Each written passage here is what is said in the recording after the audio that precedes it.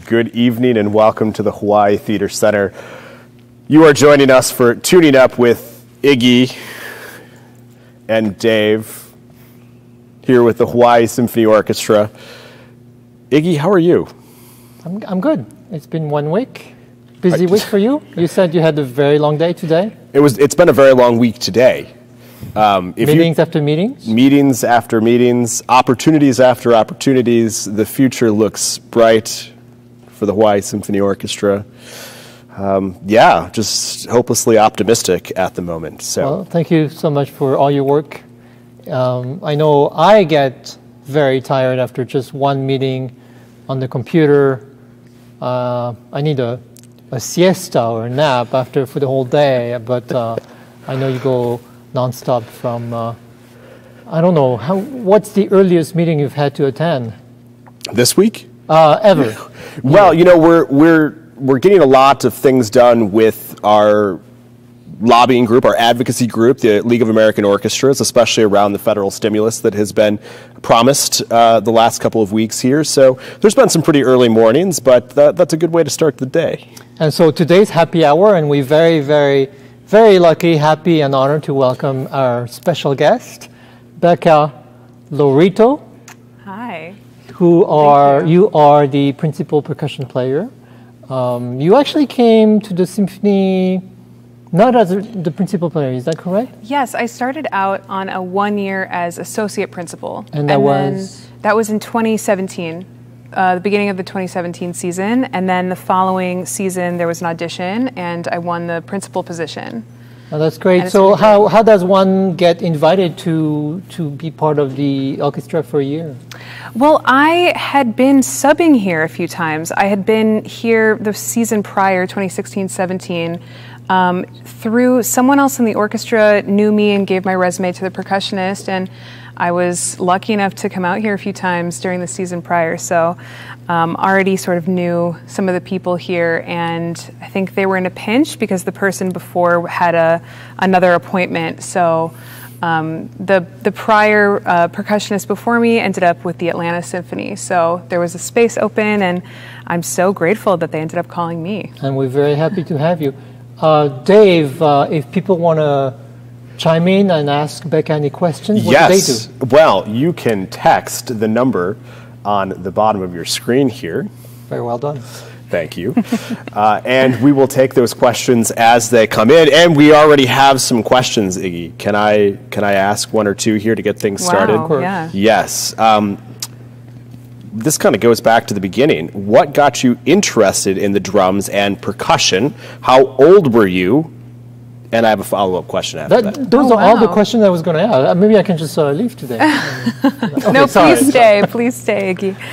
Um, that's a great question. So I started out playing piano. Um, I don't come from a musical family. Um, my parents, yeah, they're supportive, but they're not musical themselves. So I had some neighbors actually that had this beautiful grand piano in their house, and they had kids my age, and I would go over and hang out with them. But then somehow I would always end up by myself on the piano, like tinkering around and making up little melodies. So my my first love was piano, and I ended up after starting piano um, going to the Interlochen Arts Camp, and I took this class called Instrument Exploration, and each week was like we kind of worked on a family of instruments. So we had the string instruments, and then got to try out the violin and cello and everything and then the brass and woodwinds.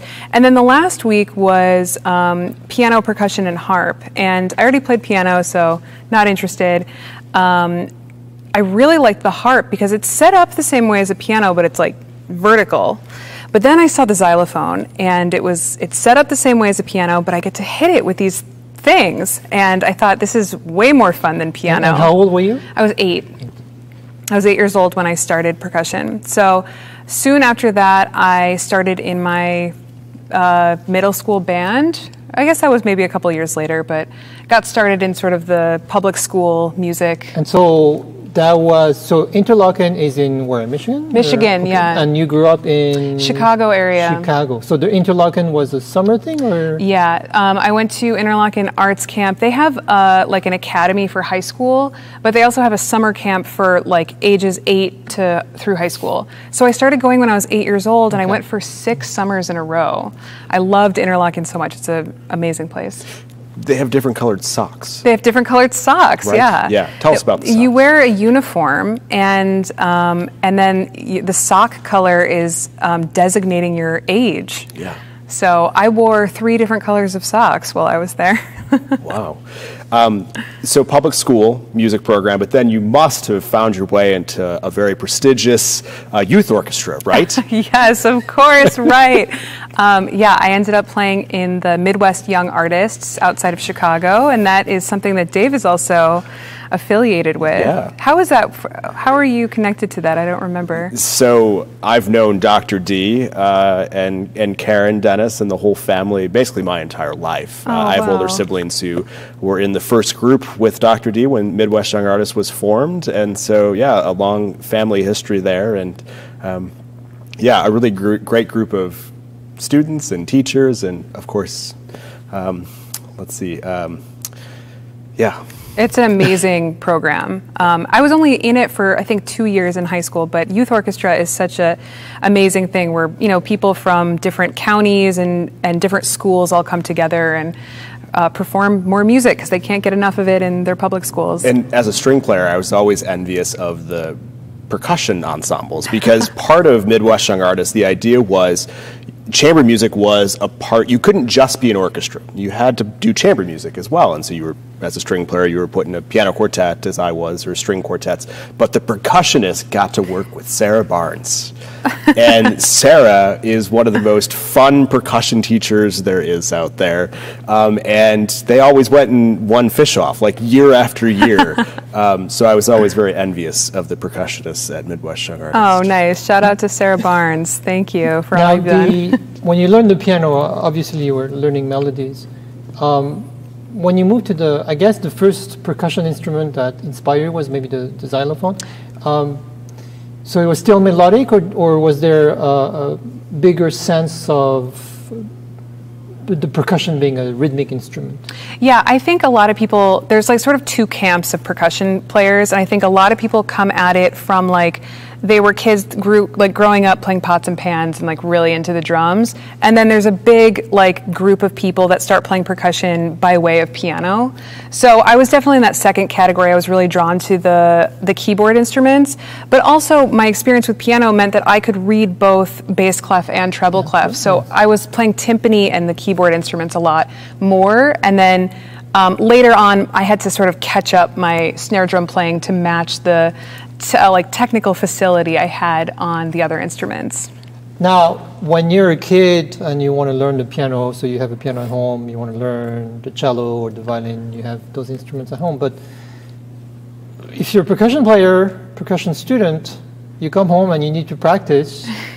Do you practice on one instrument? Do you tell your parents, oh, I need this and this and that? And, and I want to later go over all the instruments because there are so many, I don't, I, I don't even know myself. But so you're, I don't know, eight, nine, ten years old, and you I guess have to start practicing a little bit at home. So what do you tell your parents? Yeah, well, that's a great question. When you start in fifth grade, they give you this bell kit, and it's like really heavy, and it, you can sort of wear it as a backpack, but it's really nerdy. Um, and they, they sort of equip all the young percussion players with like a drum pad, which is just like a, a quieter, it's, it's not a full drum, which is going to be really loud.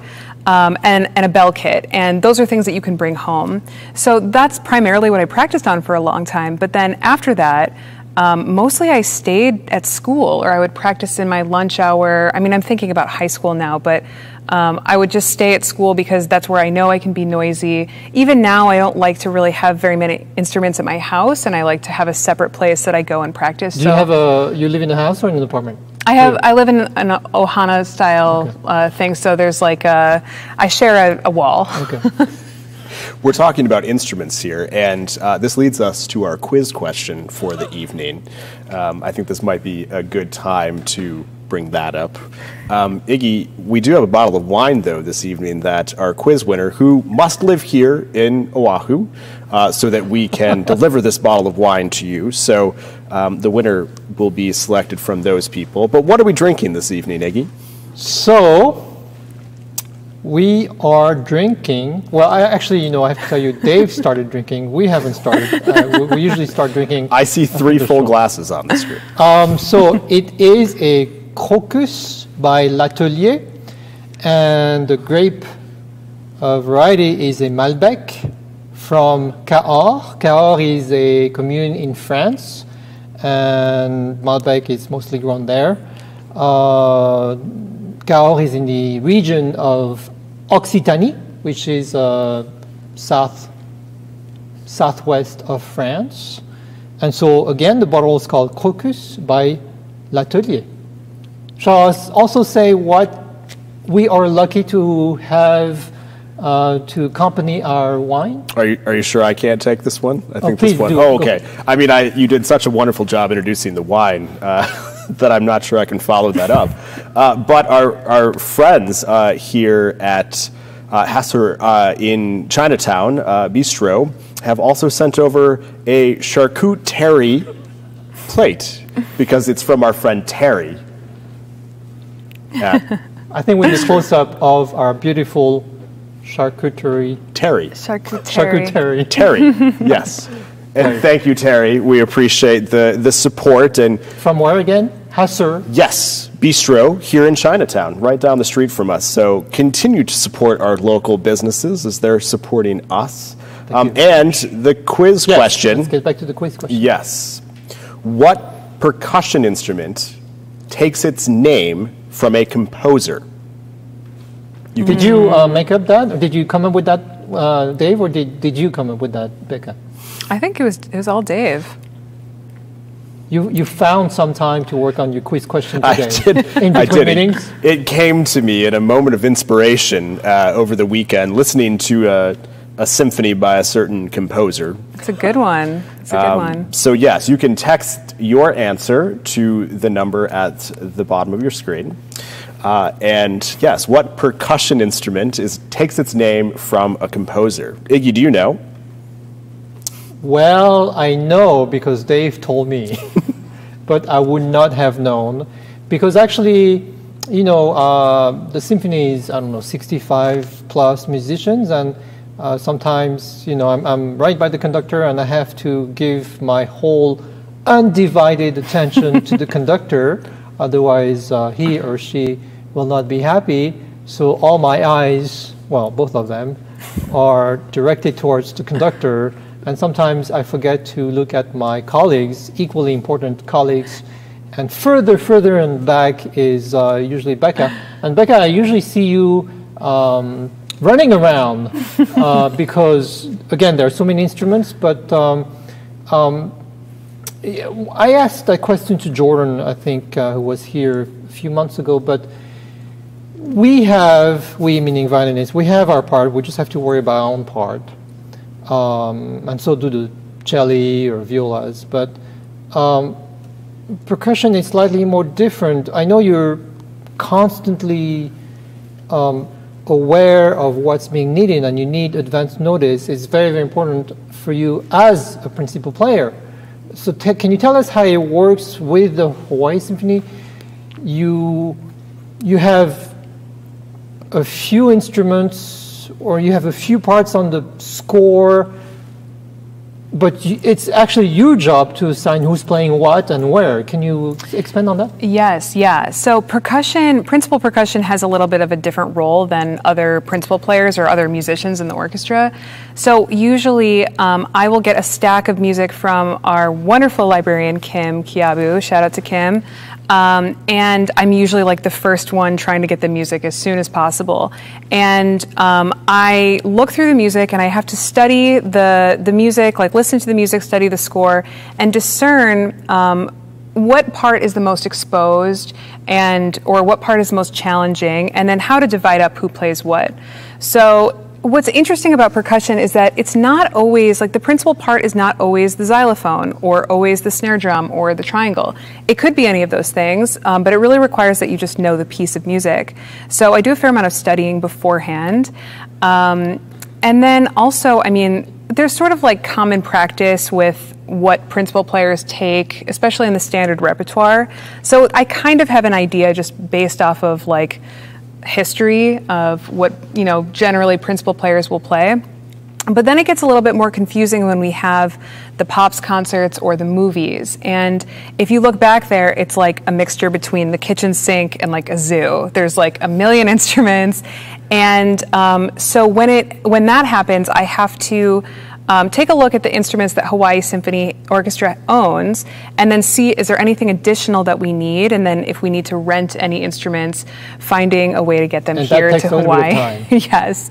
How do we get them to Hawaii or how do we collect them from another place on on island? And um, yeah, and then if there's a lot of instruments, usually I'll also draw out a diagram of where the instruments will be situated on stage because there is a bit of choreography involved with like, okay, I have to play the, the vibraphone over here and then I have five measures to get over there and I don't want to cross paths with Jordan or Chris and make sure I try to arrange it so that we each have our own little pod, um, but sometimes it doesn't work out that way and we have to move around. So, yeah. Um, just um, quickly, can you refresh, or at least refresh my memory, and, and, name sort of the basic percussion instruments? Because you know, sometimes I see something I don't know if it's a marimba, cortalis, or triangle, or etc. So sure. please go ahead. Just the top twenty.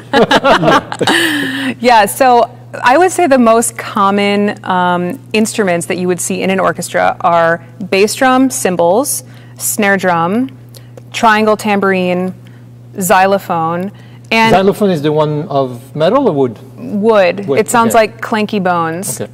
As the xylophone. Xylophone means that, that's your porgy. Okay. Yeah, yeah. that it means wood sound. Xylophone, um, and then the glockenspiel is uh, the bell set, the the small metal one. So those are those are sort of the main ones. Usually, like even in sort of an earlier piece, you'd see like bass drum and cymbals, um, and then later on tambourine and other instruments like that. And sometimes you see what car wheels. Car wheels. Or, oh, br- the brake drum. Yeah. Brake oh, yeah. It's like a hubcap, and um, yeah, that's we're getting into really modern stuff there. But yeah, I remember that um, Cindy McTee piece we played. I had a very extensive brake drum part. Um, and where do you get those? Um, junkyards. So you actually have to source them. well, Hawaii Symphony has a bunch of them. So I personally have never sourced them myself, but um, someone has, yeah. and I remember, I don't know if you were here yet, we did uh, an opera by uh, Francis Poulenc, uh, the religious one, and uh, I forgot the name. Um, mm. it, his name escapes me, but it's the one where at the very end, uh, the nuns are being um, guillotined. Mm. And so, so uh, uh, 12 nuns, I think. And you had to have a percussion instrument to make that sound. but 12 times and very loud. And, and, and I think it was either Chris, I think, or Jordan that had to, to find uh, the, the right sound. Interesting. Yeah, I don't think I was there the for that, actually. The dialogue the Carmelites. Yeah, the, mm. that was yeah, the dialogue of Carmelites. Yes. Speaking of uh, guillotine. no, I was going to say snare drum. Um, we actually had a, an early question from Charlie. This one came in uh, before the show even started, so I want to make sure we get to this one. Do you enjoy playing Ravel's Bolero? That's a great question. Um, I've played it once. I've played the snare drum part in Bolero once, and um, I wouldn't say enjoy or not enjoy. It takes a particular amount of focus. It really is like four seconds of uh, material that you're playing for 15 minutes. And so um, you have to just get into a zone. And the one time I've played it, um, the conductor, Peter Oundjian, had me play, he wanted me in front. So um, I was in the first row with the violins, and I was I was sitting on a stool, um, so I wasn't completely. I mean, I felt just very like sort of vulnerable, like being up front. I'm always in the back, and so.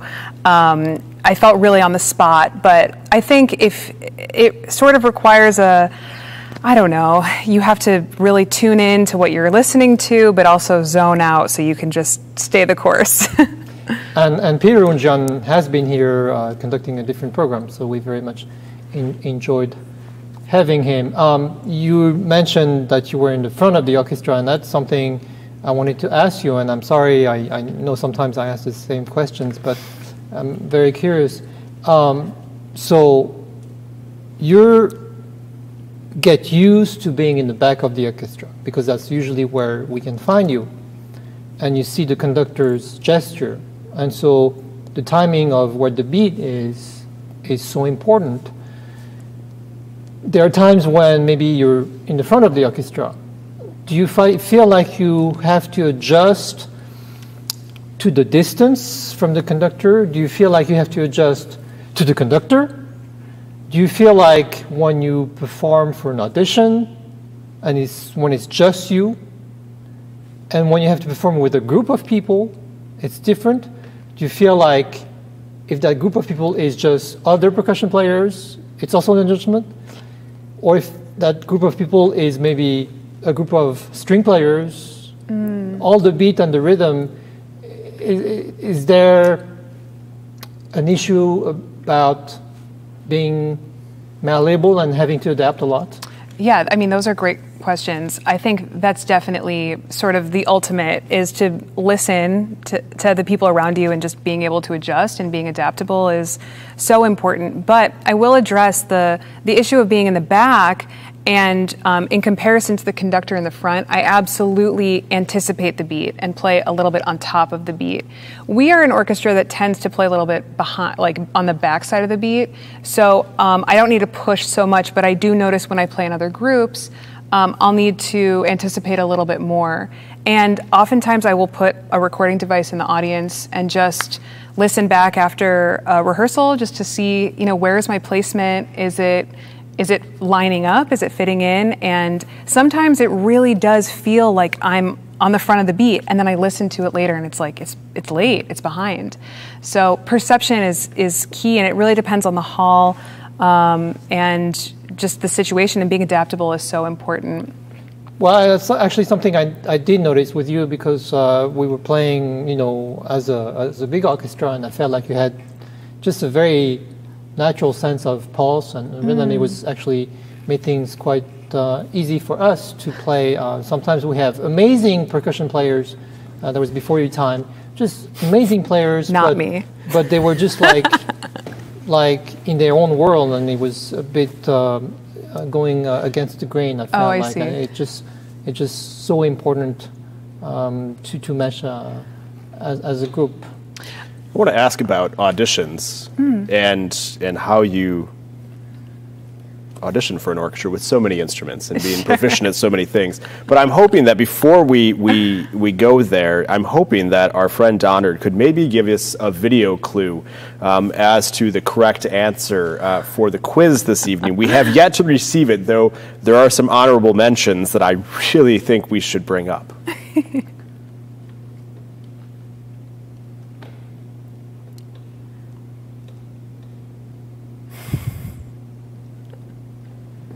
Is that gunpowder? they put powder on it, yeah. Uh, yeah, I think that was a special effect. So it's an effect to yeah. create an illusion. Yes. So we're talking about what he hit. We're not talking about the hammer. Right? Well, or do those two come together? I, I, don't know. They might. I think it's sort of a. It's a package it's, deal. It's a package deal, yeah. Yeah, yeah. it's like a violin and a bow. You you can't play one without the other, right, Iggy? Well, I guess not. Yeah. yes. Okay, so uh, it is it is not the theremin. Jason, that is a, a great. Oh, a, that's a yeah. That was a that was a good one. That was named after the inventor Leon Theremin. Mm. Um, I, I don't know if he composed anything though. That's I, interesting. I don't know if that would be considered a percussion instrument. Oh, okay. There's no striking. There's no. Um, I think of it as very similar to a violin, honestly. Mm. The spatial awareness. I, I, would love to learn how to play theremin. so back to auditions. Um, you mentioned pots and pans earlier today, tonight, and I've actually sat in for a percussion instrument. You you were sitting on my audition, yeah. And uh, and yours and years ago, I think when we had auditions in Chicago, actually, I, I listened to um, a lot of percussion players, and I'd be like, "It's out of tune." No, it's not. Uh, uh, no, but when I, you had excerpts like crash cymbals and things like that, and, and in all honesty, I just felt like it did sound like sometimes chef in the kitchen just banging on pots and pans. Uh, those who were not very inspiring. um, I, I, mean, it, it's, it's just hard, hard to define what is the difference between someone who sounds like he's cooking in the kitchen and someone who's, who's uh, you know, excels at, at, at the excerpts? Sure. Yeah, I think that's a great question because, especially the, um, it's really easy to start playing percussion. Like the learning curve happens later. It's very easy to create a sound compared to like the oboe or bassoon. Like it's hard to start, but I think the learning curve happens later when we're trying to hone in our sounds and everything. So, um, so there's a couple things. I, I think immediately of just even before and after playing, sometimes people don't have a lot of control and they kind of like it ends up bumping things like the cymbals bump things. And for you to actually set a tambourine down without any of the jingles moving is actually requires a very steady hand. So things like that if it sort of accidentally bumps something or you just kind of jerk your hand a little too quickly that can have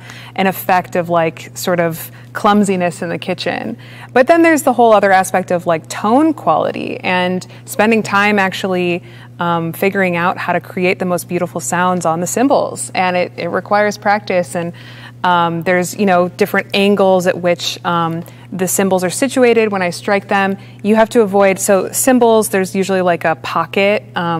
It's like a plate, and in the middle there's a little rounded part. And if those rounded parts come together perfectly, you get an air pocket, and that sounds terrible. So um, just you know having the awareness to placement of your hands and everything. And it's kind of obvious sometimes. Um, like a, I think I remember he, uh, playing Dvorak Symphony Eight, maybe, and, mm. and there's this. And then at the end, you, you hear the cymbals and it, oh, it's, yeah. it's, very, very delicate in a way. Uh, triangle. What what makes a good triangle player? Triangle is deceptively really difficult. Um, if you think about it, it's it's a little tiny piece of metal, and and try just like delicately getting the exact same sound um, out of a tiny little piece of metal every time. When you start hitting it, it's not the the piece of metal isn't vibrating yet. So that means after it starts vibrating, you have to adjust your touch so that it's less. It rings more when it's already vibrating. So there's a lot of like touch sensitivity stuff with, um, especially the metal instruments. It's fascinating. so how do you learn to control that? I mean, is it is it like you've got to sit down and practice playing the triangle? and and how many hours do you do that? Oh man, I mean, cumulatively over the course yeah. of uh, several, I've probably spent a few hours playing triangle, but I tend to do like five minutes a day type of thing. I, I, don't spend usually like a huge block of time unless I've got a, a, big part. I mean, we played this Nutcracker thing recently, and I wanted to make sure that my triangle sounds were nice. So I did a good 20 minutes a day for a week leading up to that. And um, that's how it looks like when I'm performing. It's like rarely do we need to have everything worked up at the same time. Um, but auditions are a different animal when you need to have like everything in like tip top shape, all for the the one day. do you, when you come to an audition, do you bring your own triangle? Yes, yeah. I bring as many instruments as I can because I want to control as many variables as possible. Mm. So I bring my own um, tambourine uh, cymbals. Sometimes they want you to play their cymbals to see how you adapt. Um, I bring my own snare drums and triangles and any other small things. I don't bring a xylophone. You have to go there and play theirs. Um, and yeah, and I think part of it is how do you adjust and how do you adapt to playing on unfamiliar instruments. So if you have players taking auditions on the mainland, I don't know, let's say you live in Chicago and and you have an audition in Detroit, would you have percussion players carry big instruments? Um, I I've seen someone before bring a, a glockenspiel to an audition. It's not very common. I think it's just part of the game of being a percussionist, just to get used to playing on different instruments. It's just another skill that we have to learn how to do. that one guy who brings his own glockenspiel. yeah, he's got it in the warm up room where we're all like, you know, headphones and like playing on pads, and he's like wailing on a metal instrument. so, um, when let's go back to you, you, your formative years, um, your 8, 9, 10, 11, 12. Mm-hmm. At what point did you say, oh, um, this is what I want to do in college? I, it probably wasn't until I was in high school that I realized I really wanted to do, um, I really wanted to continue studying music. Um, I just loved it, and I took every opportunity I could. My high school had a really good music program, and I was in orchestra and band. Um, I think there was like a chamber orchestra that I was also a part of, and I was doing things after school, and I just ended up spending all my time doing it. And things like solo and ensemble and youth orchestra, just it, it just became clear that this was the path I wanted to take. And you went to some very, very famous school for uh, for percussion. I, I know the, the last one you mentioned you went to Temple, but tell us about your, your college years. Sure, yeah. I started out uh, my undergrad at Northwestern University, and then I stayed in Chicago for a few years after that, and I freelanced. Um, I did a lot of contemporary music, new music. I taught at the Chicago Youth Symphony and sort of pieced together a little bit of a freelance career, and then decided I really wanted to pursue um, an orchestra career. And I went back to school, and I went to Temple University in Philadelphia, and um, and then I came back to Chicago and spent two more years in a postmaster's degree at DePaul. And Temple is where a lot of percussion. Yeah, I'm impressed to hear that you have heard of Temple. Well, we a... had uh, here musicians uh, in the symphony. Oh, Temple. Right. But um, just briefly, you mentioned um, um, a new music ensemble in Chicago, um, and you mentioned before that us, our orchestra, sometimes we play behind the beat of the, the conductor. Do you find that when you're playing new music with a group that consistently does new music on a regular basis? you, you guys are very much on top of the beat? Um, that's interesting. I, I guess I haven't, I feel like that probably would be the tendency. Um, mostly when I was performing new music, it was in much smaller, like chamber groups. Um, and I think it's a little bit of a different animal, just making sure that you're listening to the people um, around you and, and matching your sounds. But then also contemporary music has this additional challenge of like the music is like really graphic and you kind of have to learn how to like interpret a different language. Mm-hmm. Have you performed clapping music? I have performed clapping music, yeah. That was for a concert for uh, Dal Niente in Chicago. Yeah, absolutely. can, can, you tell our audience what clapping music is? It's um, so it's a, a, piece of music where there's five people clapping the same rhythm, and it's uh, minimalism. So the idea is that um, you you hear the same rhythm and then it goes in and out of phase. And what's interesting is to hear the same rhythm uh, sort of overlapped on top of itself and hear the different variations and different um, rhythms that emerge from that bass rhythm, if that makes sense. Yeah, I think that was uh, totally. Yeah, that was great. Yeah, much better than I could have done. yes, uh, absolutely. Dal Niente. Awesome. Um, Becca, sorry. So we talked about all the, the percussion instruments uh, that we use in orchestra. Are you fascinated by other instruments globally around the world or about other players, uh, maybe not, not just professional players, but, but maybe uh, rhythms and drums in other parts of the world? Yes, I, actually, I am obsessed with tabla, the like Indian drum, where um, the performer speaks the rhythm that they're going to play, and sometimes they can be like really lengthy, and then we'll just repeat it exactly for like four minutes straight on the drum, and it's it's really impressive, and I think it's really cool, and I'd love to learn how to do that. Because It's- tabla is a drum that it the top of the drum you it's played with your hands, and at the top of the drum you can manipulate the tension on the top of the skin, correct? So that you can change the pitch just like you can with your voice. Um, I've had the chance of performing with a number of tabla players, and Oh, I'm wow. always just amazed at their solos. it's it's mind blowing to me, and also the the rhythms that they speak. There's um, specific syllables Mm-hmm. that correspond to different hand techniques, and Yeah. I think that's so cool. It's very cool. We may need to throw some tabla music up on our on our playlists as we uh, get there this evening. It's So- amazing because you think of the oldest instruments, probably okay, the voice, you know, but uh, probably percussion instruments were Yeah. the first thing that mankind came up with.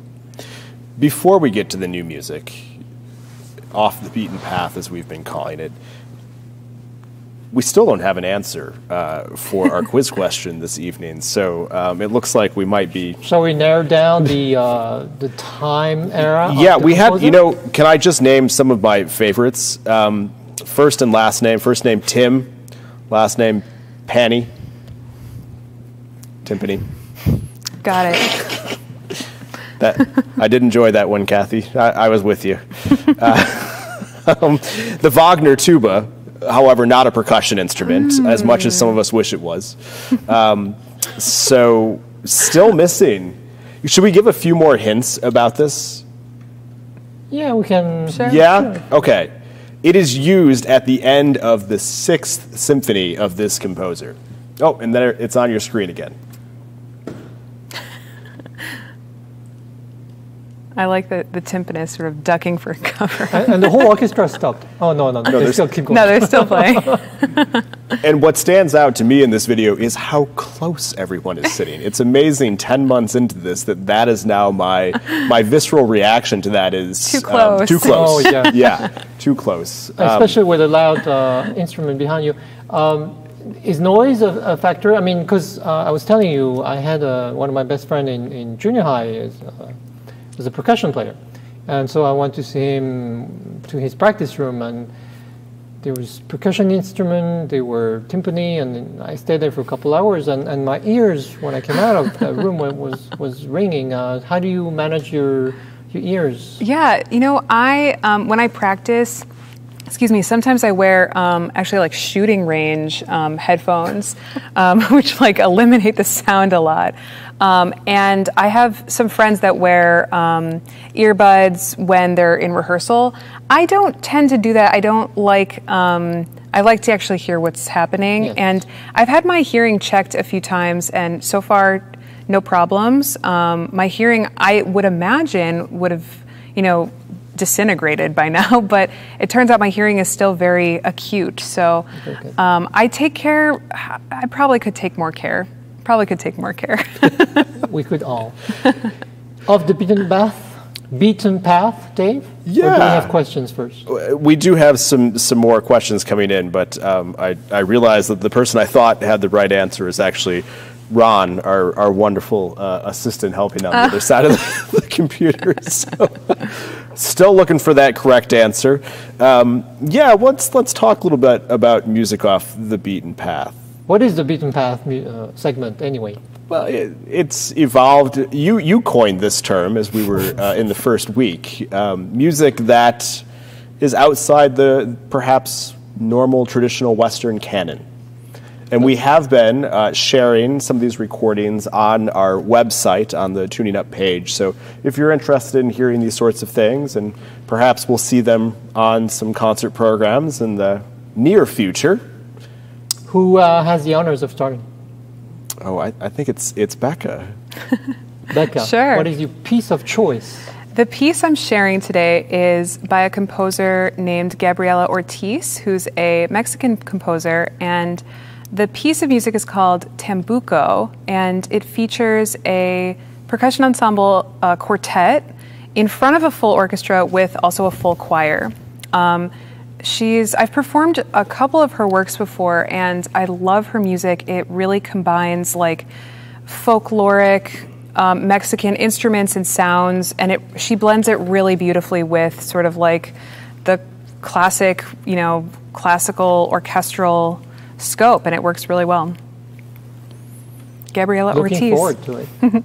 But you had another piece of hers that there's not a lot of recordings of. Yeah, there's not a lot. Perhaps we need to make one. The um, yeah, perhaps we we should. Um, the piece is called Hominum that I especially love by her. But this other piece with the percussion quartet is also really cool. Very good. Okay, I'll go next, I guess, since uh, David is uh, looking at me intently.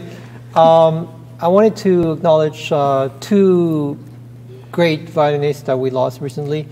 Uh, one is uh, Ivry Gitlis, who um, lived his latter years in, in, in France. Uh, but the other one is Camilla Wicks, uh, who died uh, at the age of 92, I believe, American violinist, fantastic, um, born in 1928, I believe, and had an amazing career uh, about the same time as Jascha Heifetz, Zino Francescatti, early Isaac Stern, um, Nathan Milstein. So, um, being a woman, having her early career in 1950s, I think she made her debut at age 13 at the Hollywood Bowl or something like that, and played at Carnegie Hall very uh, in her 20s, I, I think. Um, so, might have had a bigger career if um, you know she had been a man, perhaps. Anyway, so um, they uh, ran articles um, in the New York Times and Washington Post uh, when she passed away in, in late November, um, and uh, she said that you know she had a big career and she had five kids also. So um, at some point she had to spend more time raising her children. Uh, but she said that early on, when she was performing all over the places, uh, she usually had a, a baby in, in, her stomach when she was performing the Brahms Violin Concerto. But anyway, the piece I had uh, in mind, uh, she um, uh, she recorded, uh, I think, the William Walton Violin Concerto. William Walton wrote that concerto for Jascha Heifetz, actually, but she played it very beautifully. And so William Walton, Dave, is famous to, for writing uh, a violin concerto, which is not performed very often. Uh, he also wrote a cello concerto, but uh, he's very well known for writing a viola concerto. Have you uh, played that uh, concerto? You know, it wasn't my favorite. Uh, I, I, it just didn't really lay well for me. Um, but it's it's like the plight of a composer who writes a viola concerto. It's like, oh, yeah, he's the one who wrote the viola concerto. He actually wrote a beautiful piano quartet uh, when he was quite young. Um, as with other Mahler, for example, also wrote a, a piano quartet at a very young age. Um, not, not, not for percussion instruments, but um, so Mahler. yeah, that's the piece. William Yes. Walton, uh, British composer of the early 20th century, and Dave. Beautiful. Yeah. You, so I've been a, a few weeks ago, actually the close of season one of Tuning Up. Uh, we had our guest Mari uh, Yoshihara join us, and she gifted me her her newest book, Dearest Lenny. And I've really I've enjoyed reading that over the past couple of weeks, and was reading about uh, some of the tours that the New York Phil did to Japan um, when Ozawa was starting to conduct with them, and of course uh, Bernstein was conducting the orchestra as well, and was reading about this piece called November Steps, written by Takemitsu. Um, and I had not heard it before, but it was written in 1967 for the 125th anniversary of the New York Philharmonic and uh, was toured to Japan with Ozawa conducting. Um, and I had a, I, I'd never heard it, and I listened to it over the weekend for the first time. And it's this really phenomenal blend of traditional Japanese music and instruments and what we think of as Western classical music. And um, Takemitsu, I, I, believe, was actually born in China and kind of was inspired by mostly French composers. Um, and it wasn't until kind of the middle of his career where he really brought this uh, Japanese tradition into his music, um, and it's it's a wonderful piece, November Steps. And also, as I was learning about Takemitsu, I, I was blown away. He wrote over a hundred uh, movie scores during his career, um, mostly Japanese films, but uh, I not someone who I was familiar with as a film score as well. So, uh, November Steps by Takemitsu is mine. and I week. believe that uh, Takemitsu actually performed here in Hawaii before my time um, as a composer, of course. Um, we, with the back then, might have been called the Honolulu Symphony. We actually performed a, uh, uh, one of his works. It was probably the last time uh, we did. Uh, I think the, the, the, the, name of the piece was called Archipelago S. And so, just like its name says, uh, we had the orchestra, I think it's a piece for about 20 some uh, musicians. So we were divided in three um, ensembles, just like small islands of an archipelago. Physically uh, distant. In, in, the, in, the, in the concert hall. Yeah. So do we have uh, no answer yet? We do. We do. Uh, the winner this evening they got the composer correct. Uh, Jason, uh, we've got a, another bottle of wine headed your way this week. Uh, yes, it is the Mahler box. And do we know if the Mahler box is being used for other works other than Mahler? You know, I know there is a percussion ensemble piece that is uh, newly written within the last 20 years that thought, you know, we need more Mahler box. So there's, I know it shows up at least somewhere else. Box and hammer. Box and hammer. And yeah. hammer. Oh, uh, yeah, with the hammer, right. Yeah. Just like the violin and the bow. Yes. Uh, um, Becca, I, I, keep asking the same question to everyone because I'm fascinated by that aspect. When we perform and when we're on stage, when we practice, you know, everything works fine and your heartbeat is fine, whatever. Uh, then we perform in public for an audition or competition or concert. There's a little bit of adrenaline rushing. There's your heartbeat beating a little faster. So the first thing that gets affected is your pulse and your beat and your rhythm. Um, I know it, it affects me definitely. How does it affect percussion players? And if it does, how do you learn how to deal with it? Mm. Yeah, that's that's a great question. I think I like I have a theory that um, nerves manifest in the exact way that you do not want them to. Like like for a trumpet player, they get dry mouth. I don't think I get dry mouth. I mean, maybe I do, but I just notice that my hands shake or my hands get sweaty. And maybe a trumpet player for instance, will also get sweaty palms and shaky hands, but they don't really notice that as much. So I think it's interesting. Um, so yeah, I notice that my hands will shake. Um, and my palms will sweat and my heart rate increases and um, i have some like muscular um, techniques to like if i'm playing snare drum for instance i'll uh, if I turn over a little bit more, if I utilize more of the larger muscles rather than the smaller muscles, I have a better chance of controlling what I'm doing. Um, I try to practice being nervous, um, and then I also how do you do that? Like? I I I try to play for people in front of people. Like Dave? Does Dave? Not yet. no, I, I, you're I, welcome yeah, to. absolutely. Yeah. Come over to the union sometime and make me nervous. Um, have, yeah. Have you done the like running up and down the stairs so you're out of breath? I have, or like doing some push-ups or something like Yeah. that, just to sort of recreate the adrenaline a little Did bit. you go to New World Symphony? Or? I have subbed there a number of Okay. times, but I, 'Cause I, just I, I know fell they're kind of very into Yeah. training, things like that. And so I, I think there's something to that, especially with like audition training. I think, yeah, sort of like adversity training is, is really helpful. If you try to, again, control the variables, if you if you expect that you'll get nervous, or at least prepare to for you know whatever happens if you do get nervous. I also do um, a lot of things before to just sort of calm myself down. I have a meditation practice. I use um, like uh, tapping as like a technique to help um, eliminate some of the adrenaline, and it works for me. It really helps. Great. Well, I'll have to call you up. Um, did you notice? I don't know if it's just me or other people, but with the pandemic, with those concerts we've had, uh, we've had to wear a mask, and so I think breathing is very important when you perform.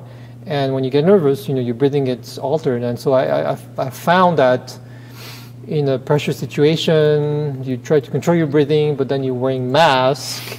So there was another uh, um, obstacle, I guess, in, in, in performing. Did you was that a big deal for you or no? Yeah, you know, I noticed the breathing, but also for me, when I noticed, especially when we played um, Carnival of the Animals, I was playing keyboard instruments, and I have to look down to make sure I play the right notes, you know.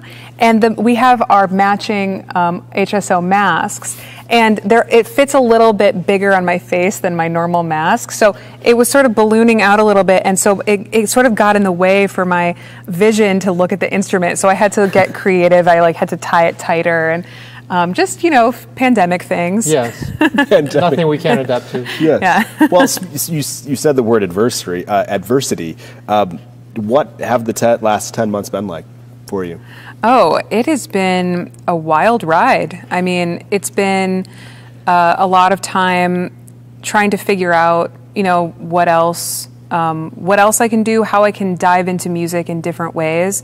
I've been studying opera because it's not something I know a lot about, so I've been just sort of casually and slowly listening to operas and studying the music and the scores and learning the stories. And um, that's been kind of a fun project for me. Um, I also um, enrolled and completed a certification as a health coach and nutritionist, and have started a like a, a coaching practice. Mm-hmm. So it's been a really cool time that I've been able to have the time and space to sort of explore other interests. But I'm really looking forward to getting back to playing. I miss it a lot.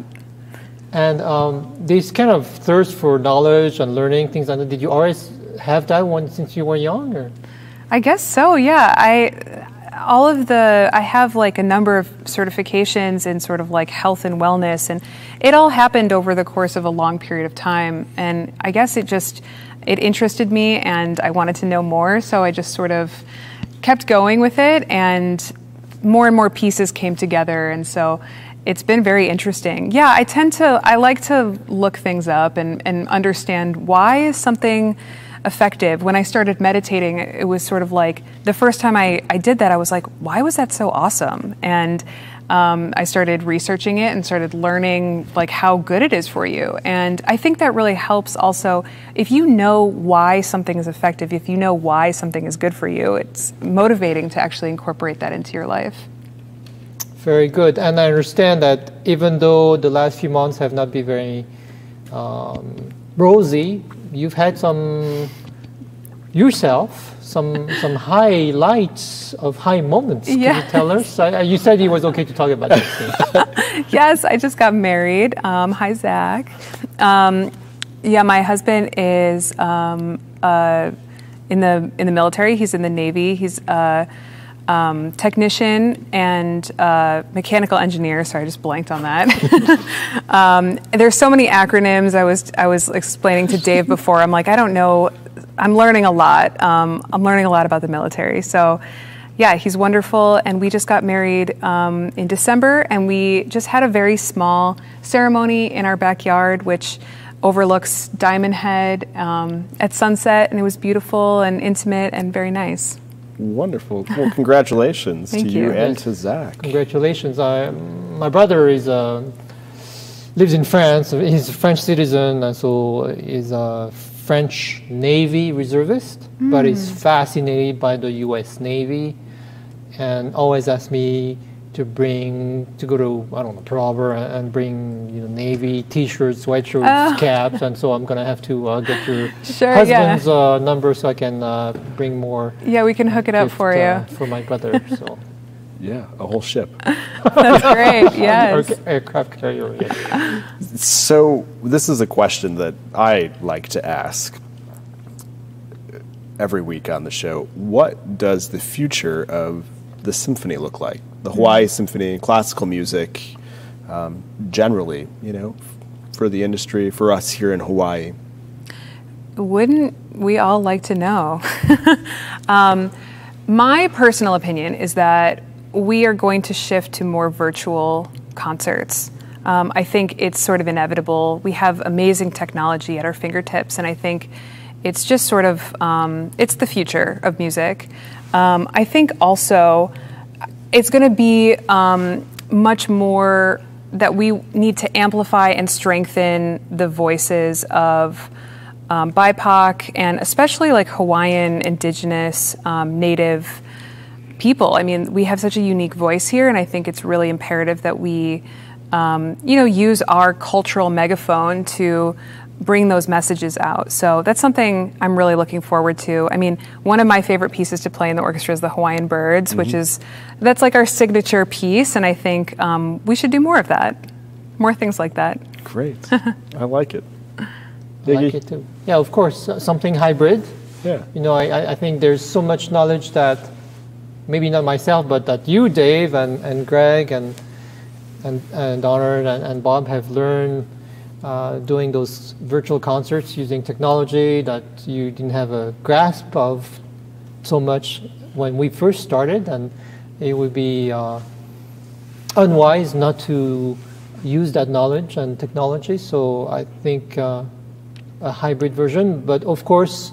Uh, we all miss uh, the interaction, the in-person attendance, not because we want to hear you applaud us, but uh, you know, music is a two-way uh, dialogue, communication between the listeners, the musicians, and and we uh, learn from everyone's feedback. So mm. hopefully that will come sooner than later. Yes, we'll get back to it very soon here. Uh, we really appreciate you joining us this Thank week. It was a lot so of fun much. to, to talk with you. That you know, we Iggy and I always talk about this being the little oasis we have here on Tuesdays, uh, kind of normalcy uh, in a, a, very strange time. And as we see more and more parts of normal return or a new normal, um, I'm confident that the, the symphony will be back very soon at its full capacity. Uh, both audience and on stage. And each day that goes by, we're getting a little bit closer to that goal. So, and we can't do that without, of course, your support. We're grateful for all of you for tuning in and telling people about what the HSO is doing. And of course, uh, your financial support uh, is very much appreciated as well. So, on that note, Iggy, did you have something else to add? Um, you know, um, getting back to the percussion instrument, there, there's there's something so not religious, but it's ceremonial. I mean, it's it's mm. you have to have. I mean, of course, we all respect our own instruments, but you know, they, I think the the drums play such a integral part in ceremonies or religious services, and it, it almost feels like it's a it's more than a musical instrument. Do you feel sometimes that when you play that maybe you have to bow to the instrument? I don't know. does it take a, a dimension that's bigger than the music itself? That's really cool. I mean, you're probably one of the, the first people I've heard to um, pay so much respect to the percussion family. I feel like normally I'm defending its honor. Um, you know, I really do feel like it hits people on a really core and visceral level. Um, it I mean, the sound is big. I'm thinking of like, you know, big bass drums. It, it, cuts deep into the core of your body. The vibrations are, are big and wide. And, um, and I think it moves a lot of people. So, um, yeah, I mean, I guess I'm aware that I, I hold a very powerful tool. Do, yeah. um, and, and, you know, try to have respect for that. Be, before we go, we have to talk about Mahler's Sixth Symphony, though. That was our quiz question. You've talked about this sort of um, the sacred. It, it, obviously it's been a while since he's had the full arsenal of the percussion in the back of the orchestra for him to say, "Quiet down, please." So, can you tell us you've you've had the opportunity to play the Mahler box and hammer? I have. And yes. Can you tell us a little bit? You know, there's the story about Mahler and the, the maybe the number of hits that he originally had planned for the symphony and then changed his mind. Can you take us through that? Sure. Yeah, I think that originally there were five strikes, and then um, and then upon editing ed- editing it, he thought maybe that's overkill.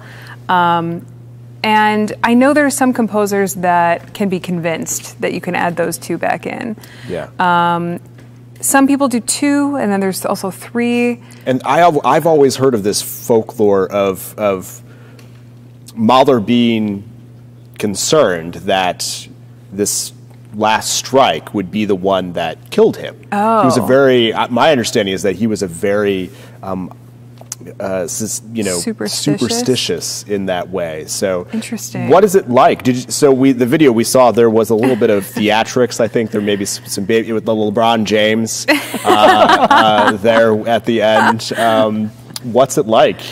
Um, okay, well, I have to say, um, there's a lot of airtime with that. You you got to bring the hammer over your head, and, and every orchestra has a different rendition of the hammer and the box. So um, it looks different. It, it weighs a different amount, and and you need to get used to it. Like you'll notice that guy's hand is really up close to Yeah. the the hammer part, and then he's holding it down here, and you know lifting it over your head. It's a it's a full body thing, but timing it is is difficult because how, it's not a motion I'm I'm used to doing like from all the way up over my head. So um, it took a few swings at it before I really understood how much uh, how much time I needed so that I could place it right. Well, everyone needs to go and listen to Mahler's Sixth Symphony now. Um, you'll need to carve some time out of your schedule, but uh, it's well worth it. uh, wonderful again to have you, Becca. Really appreciate the opportunity to talk with you. Iggy, always a pleasure. Thank you very much, Becca. Thank you Thank so you, much for having Yes, me. It was a and- pleasure. And tune us, uh, tune in next week for Tuning Up.